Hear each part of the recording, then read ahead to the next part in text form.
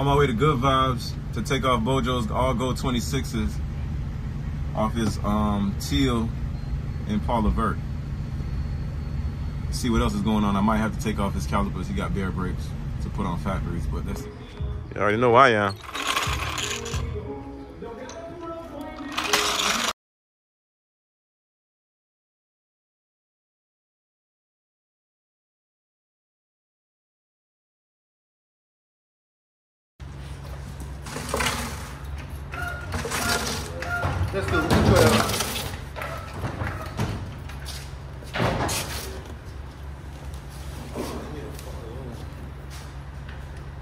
Oh